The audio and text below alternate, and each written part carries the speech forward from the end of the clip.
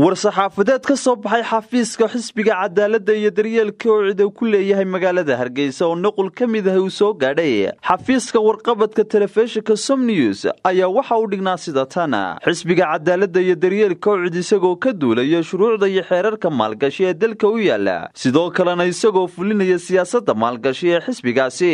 Xisbiga cadaaladda iyo daryeelka oocid waxa uu ku wargelinayaa dhammaan shacbiga jamhuuriyadda somalilan golayaasha sharci dejinta saxaafadda iyo xukuumadda jamhuuriyadda somalilan in xisbiga ucid uu daraasad qoto dheer ku samaynayo shirkadda maalgashi ee somalilan investment company limited ee laga diiwaangeliyey dalka iskutaga imaaraadka carabta ama united arab emirates. Daraasadan oo xisbiga ucid u saaray guddi khubro ah oo ku xeeldheer arrimaha maalgashiga iyo sharci yaqaano guddidaasi uu hormood u yahay guddoomiyaha xisbiga mucaaradka ucid injineer faysal cali waraabe. Sidaasi awgeed waxa uu xisbiga ucid bulshada somalilan la wadaagi doonaa xogta rasmiga ee ka soo baxda. Daraasadda haddii alla idmo war-saxaafadeedkan ka soo baxay xafiiska xisbiga ucid ayaa lagu yidhi sidaasi iyadoo uu ku saxeexan yahay guddoomiye ku-xigeenka koowaad ee xisbiga ucid ahna kusimaha guddoomiyaha mudane cabdinaasir maxamed xasan buuni. Allah mahadle khaalid yuusuf xasan fantastic somali news t v.